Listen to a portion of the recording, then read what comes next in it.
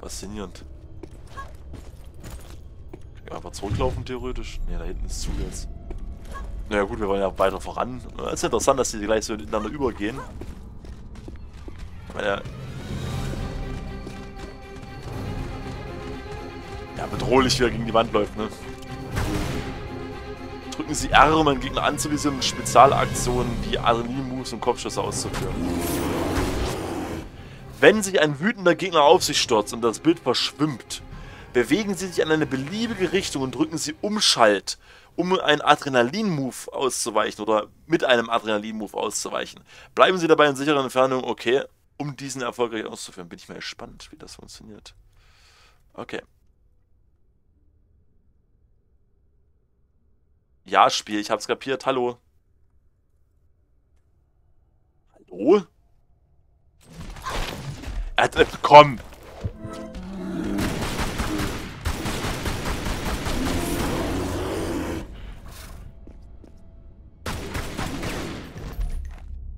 Das Spiel ist ein bisschen buggy, oder? Ich weiß nicht, ob es jetzt... Woran das liegen könnte, aber...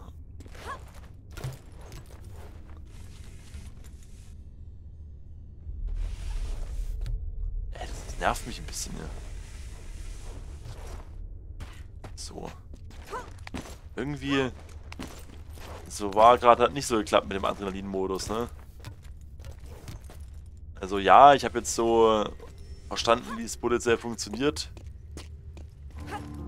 Die Stadt Wilkabamba. Ist doch so ungewohnt, dass uns nicht die ganze Zeit hier die beiden Typen da, ne, wie heißen sie, äh, Zip und Alistair, ne, uns das Ohr voll labern. Ist fast schon gespenstisch, ne?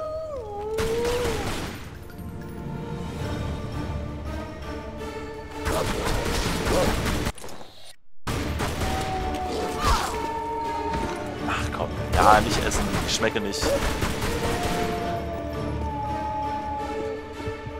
Also irgendwie ist das ja super buggy, keine Ahnung. Also das war wieder... Naja. Aber hey, Wilkabamba, schick. Schick, schick, schick. Hier lässt sich doch wohnen. Oder leben. Jetzt?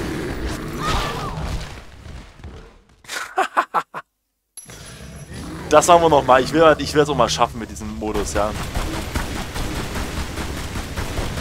Er kommt auf mich zu. Hat nicht funktioniert. Ja, ausweichen mit, äh, ich habe das schon verstanden. Ja, warte mal, das war jetzt nicht schön. Da trinke ich mal kurz.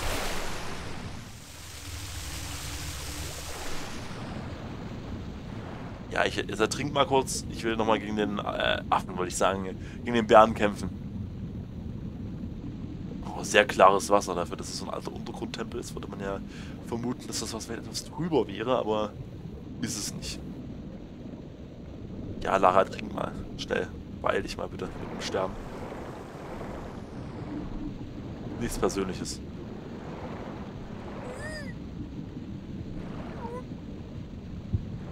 Och, die Arme, ey. oh Gott, ey. Das ist ein erbärmlicher Tod hier, die Arme. Ja, aber ich muss das ja mal üben mit den Bären. So, komm mal her. So. Ah, jetzt. Ah, perfekt. So geht das. So geht das. Jetzt habe ich es ja. Jetzt habe ich. So. Dann mal auf ins Wasser. Würde ich sagen. Drücken wir jetzt die Umschalt im Wasser. Also aktuell gibt es hier noch keinen Durchgang. Möchten sie auftauchen? Okay, das ist die gleiche Steuerung wie Dings tatsächlich. Die Frage ist, wie komme ich jetzt hier wieder raus? Gar nicht. Dann muss ich ja doch irgendwo lang. Ach, da hinten. Was ist da? Nur ein Fisch. Ich wollte schon sagen, gut. Ach, möchtest du mir den Weg weisen? Das ist aber nett von dir. Taucht Lara nicht rechtzeitig aus, sinkt ihre Sauerstoffanzeige auf Null. Okay. Immerhin.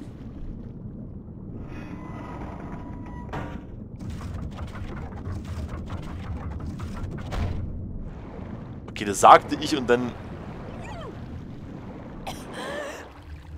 Alles gut, du lebst noch. Alles gut, Lara. Ich hätte auftauchen sollen zwischendrin, aber habe ich jetzt nicht gemacht.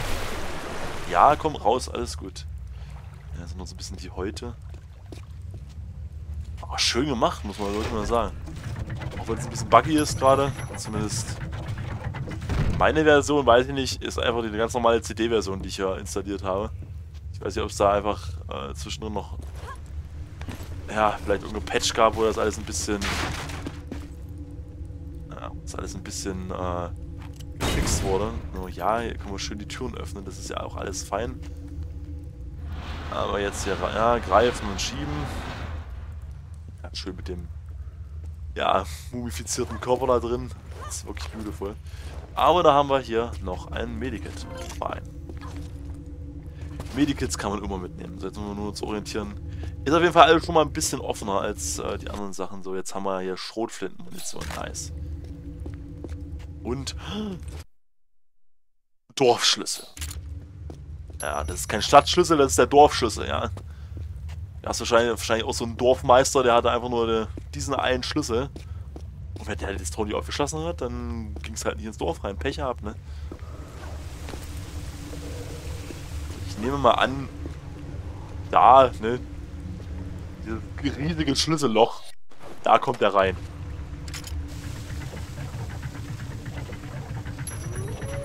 Ah ja. Na komm mal her. Wo bist du? Ja, ja. So, du auch noch. Ja, ja, komm. Die Gegend rutschen immer. Das ist eine Rutschpartie, ey. Die bämsen hier durch die Gegend. Okay, das hat ich jetzt verkackt. Äh. Okay, der Glitch hat mich jetzt gerade ein bisschen gerettet, tatsächlich. Ja, das sieht aber gut aus hier. Das ist schön. Also, natürlich wenig einladen mit den ganzen Totenköpfen und diesen verschrubbelten ne, Dingern da, die die ganze Zeit hier nicht versuchen wollen abzuhalten, aber la halt nix ab. Die freut sich eher noch über diese ganze ach, über diese ganzen Todesfallen. Ne? Ich will nur kurz gucken, ob es noch irgendwas auf dem Boden gibt. Ja, siehst du? Medikit, gut, dass ich nochmal geschaut habe. Sicher ist da sicher. So uns mal wieder ans Land begeben. Oder an Land begeben generell. Ans Land begeben. Über so dezente Sprachstörungen. Ja. Aber jetzt gleich bröckelt hier was ab, oder? Nicht? Dann können wir froh sein, dass ja alles noch so fest ist. So einfach noch da springen, ja. Sie macht es, das ist ja schon mal gut. So, soll es denn noch weiter nach oben gehen? Ja, wahrscheinlich, aber jetzt müssen wir erstmal hier durch, ne? Ah, okay, also immer so einen kleinen Treppenabschnitt nehmen oder so einen kleinen Rampenabschnitt und dann geht's weiter nach oben.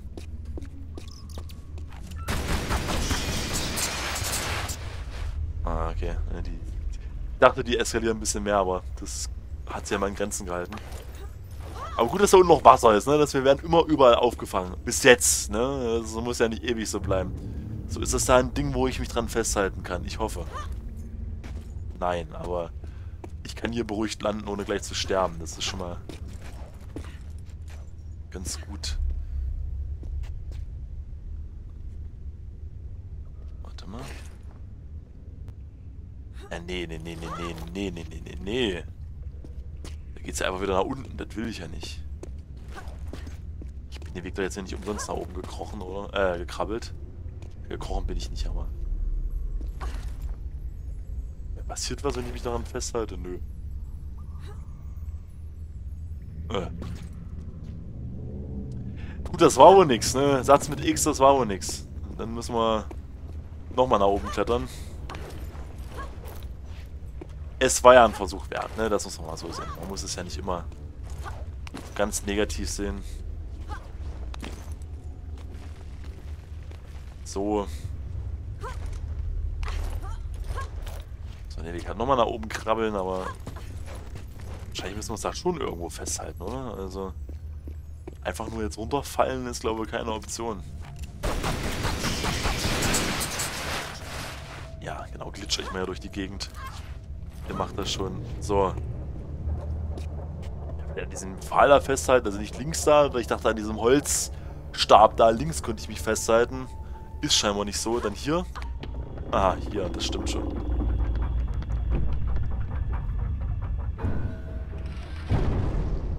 Na gut, jetzt, ja, gut. Und der gleiche Spaß nochmal auf der anderen Seite. Na gut.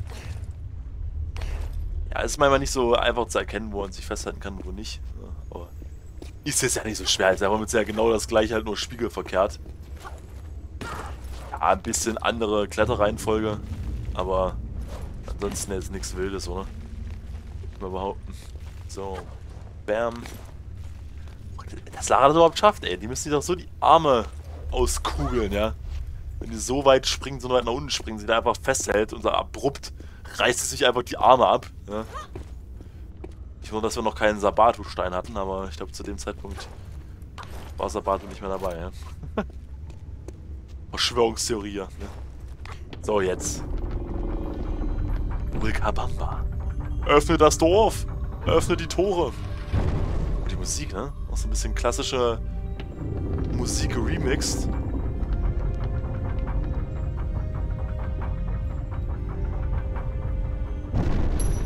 Ja, nice. Ja, mir gefällt auch ehrlich gesagt so der klassische Look bis jetzt. Also so von dem Feeling her ist es sehr, sehr klassisch, ne? Sehr verlassen alles, halt diese alten Gruften und so. Die Musik ist geremixed, ja, also ist schon echt, ja, also macht einen sehr guten Eindruck, muss man ehrlich mal sagen. Abgesehen von den Bugs, aber naja gut, über die Bugs kann ich hinwechseln. Vielleicht liegt es einfach daran, dass irgendwie die Version zu alt ist oder so, keine Ahnung. So. Da unten will ich jetzt auch wieder hin, wenn da was rumliegt, ne? Ja, komm her, ich sehe dich doch schon. Naja. Das mit den Kopfschüssen müssen wir mal üben. Das klappt nicht so ganz, ne? Das, das klappt nicht so ganz, aber... Naja. Übung macht die Lara. Ne? So. Ja, jetzt wird es einfach nach hinten entschieben. Da muss er wieder hochklettern. Potenziell. Äh, wenn er mitkommen möchte. Ja, ich glaube, der hat eh kein Problem damit. Also, wenn ich hier durch die Gegend schiebe. Ich glaube, der hat den Punkt äh, schon längst überwunden, wo er sich gegen Sachen wehren kann. Ne? So tot und mumifiziert wie der ist. So, runterrutschen. Diesmal rutsche ich auch viel schneller runter als in Legend, ne? Da war es immer sehr... War eine sehr langsame Rutschpartie. Das kann ich mich auf diesen Balken da... Auf, auf vertikalen Strukturen kann ich balancieren. Ja. Das sieht sehr gefährlich aus. Ich, ich, kann man überhaupt wirklich, jetzt mal ehrlich, kann man sicher auf so einen Nippel da landen? Geht das überhaupt? Ich meine, ich, ja, bestimmt geht sowas, keine Ahnung. Also, ich meine, es gibt ja Leute, die richtig krass Parcours können, ja, oder so Parcours-Dinger da laufen können. Also, mit die wird das wahrscheinlich kein Problem sein, ja.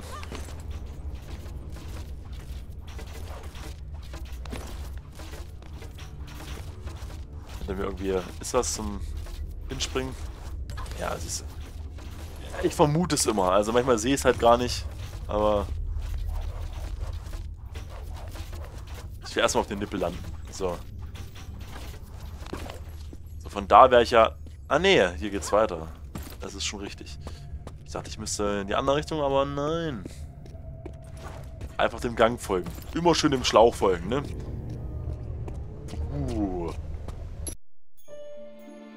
Ja, du musst sagen, die, die Level sind auch sehr kurz und knackig. Also, was ich jetzt nicht schlimm finde, so ist es nicht, aber ich sag mal, äh, ja, jetzt so 32 Minuten, das Level davor war 18 Minuten nur.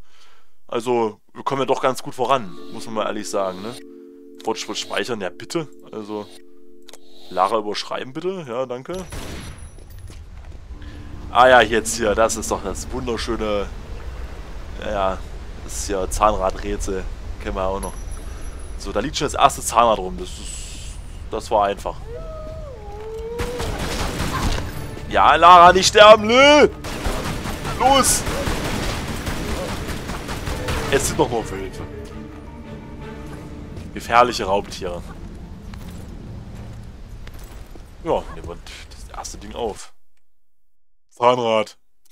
So, drei, vier Stück muss ich finden. Das heißt, wir dürften gleich wieder eine sehr, sehr klassische Überraschung äh, abbekommen in dem Level. Übrigens, die Klamotten werden dreckig, oder kommt mir das so vor? Irgendwie auf ihrer linken Brust ist irgendwie ist ein bisschen dreckig, weiß ich nicht. Also wenn ich mir das so einbilde. So, wollen wir doch mal hier hinten gucken, da ist doch was Schönes. Ja, ja, da ist was, aber das Spiel will mich da noch nicht hinlassen. Wie ich es auch sehen kann. Warum, warum willst du mich nicht durchlassen? Nein, nicht. Schon mal da unten durch. Wenn ich denn da durchkomme, hoffentlich. So. Ja, natürlich.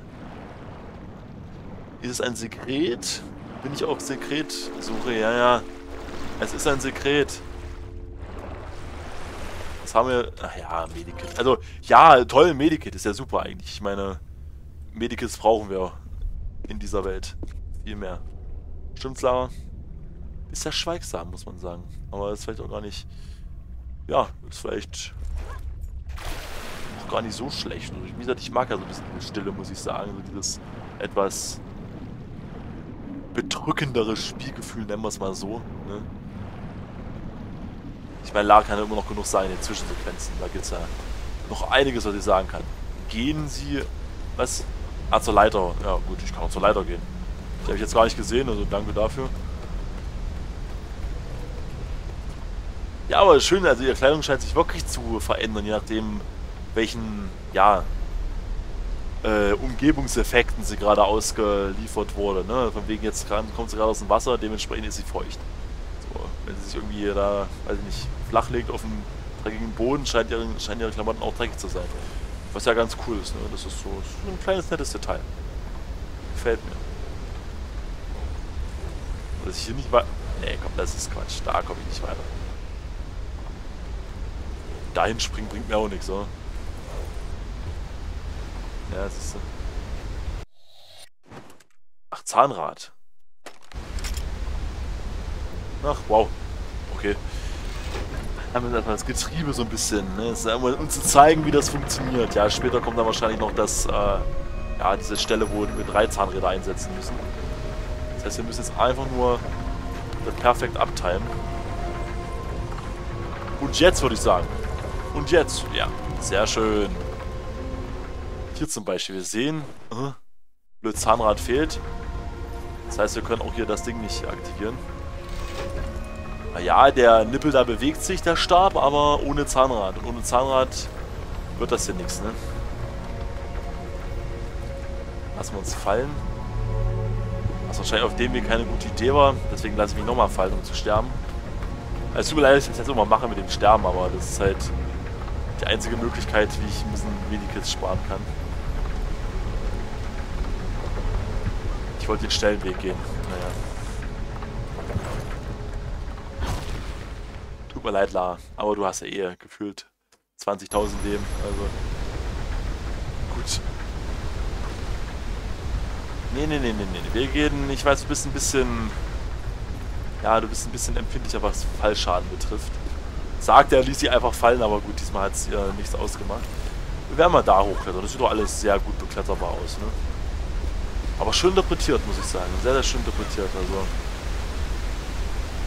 Das fügt sich sehr gut tatsächlich auch ein mit der neuen, ja, der neuen Steuerung und alles. Jetzt frage ich mich natürlich, was wäre gewesen, wenn auch die anderen Teile äh, mit dieser Steuerung, mit dieser Spielmechanik gemacht äh, wären, ne? oder wenn man die äh, programmiert hätte. Deswegen, also was ich euch empfehlen kann, guckt euch mal an äh, Dagger of Xiang. Ne? Das war mal ein Fanprojekt, was beendet wurde, aber zumindest gab es das erste Level als Demo, ne? die große Mauer, was ich auch auf meinem Kanal gespielt habe. Schleichwerbung, ja, aber es ist, passt ja zum Thema. Ähm, und das war fantastisch. Also, das ist immer ärgerlich, wenn man solche genialen Spielprojekte sieht und denkt, Wahnsinn. Also, was, was es werden könnte, aber dann wird es leider nie was, wegen fehlenden Ressourcen. Ja? Und ich meine, man muss auch mal so sehen, das sind halt Fanprojekte. Das werden halt von, ja, die werden halt von eins, zwei Leuten oder so einem kleinen Team gemacht, wenn es hochkommt. Ja, meistens wird da nicht viel draus, leider. Wie es auch leider bei äh, Return of the Tentacle der Fall war. Ne? Äh, das inoffizielle Fan, also die inoffizielle Fan-Fortsetzung von Day of the Tentacle. Auch sehr, sehr schade, muss man ehrlich mal sagen, aber... Naja, so ist das aber mit manchen Fangames. Manche kommen halt bis zum Ende durch und manche erblicken dann nie das Tageslicht, ne? Zerstörbare Objekte. So zum Beispiel. Einfach mal hier alte, wertvolle Sachen zerstören. Das kann Lara am besten, ne? Huah! So. Der Magnethaken. Macht auf jeden Fall schon mal sehr viel Spaß. Also ich finde auch gut, dass man hier wieder ja, diese ganzen großen, langen äh, Sprung- und Kletterpassagen hat. Die finde ich immer sehr spaßig. Also das macht einfach, ich weiß nicht, es hat einfach was an solchen großen ja, Gebilden hochzuklettern. Das hat mir damals schon bei Prince of Persia Spaß gemacht, ja. Ein bisschen so teilweise vom Moveset, äh, Moveset erinnert mich das sehr stark daran. Ah ja, hier, hier haben wir es doch, ne? Oder, hier haben wir es noch nicht. I. Genau, glitscht euch mal irgendwie weg aus meinem Leben. Dankeschön. Hopp. Ah! Ich glaube, ich muss mal ein bisschen näher hier die Mitte und schauen. Nee, warte. Nee, das ist weit weg. Nee, nee, nee. Wir wollen kein Risiko eingehen. Kein Risiko. Jetzt. Jetzt, jetzt. Perfekt. Perfekt. So, einfach rum da. Und da, so. Jetzt sind wir schon mal hier oben. Ne, das ist fein. Ich denke mal, die ganzen Zahnräder, auch immer das jetzt ist, keine Ahnung, aber die ganzen Zahnräder werden mir mehr oder weniger einfach, ja, fallen mir einfach in die Hände. Hoffe ich. Jetzt sind wir ein bisschen taktisch hier vorgehen. Erstmal gucken hier. Hier fallen lassen? Ja, gut. Dann auf die andere Seite vielleicht, ne? Ja, okay. Sieht gut aus. Ist das... Nee. Laufe ich gerade im Kreis? Oder... Ich laufe gerade im Kreis, glaube ich. Hier war... Habe ich doch gerade lang geschwungen. Das ist doch jetzt nichts Neues.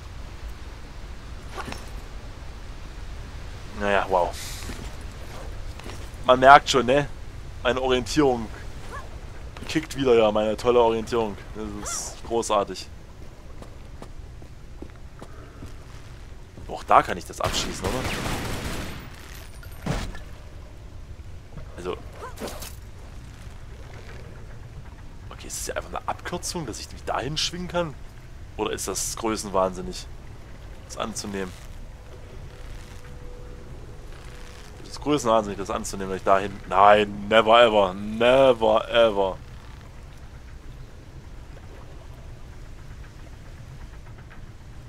Nee, ist schon richtig hier. Ich muss mich schon dahin schwingen, also... Ja, schwing dich, Lara, alles gut. Ist schon richtig so.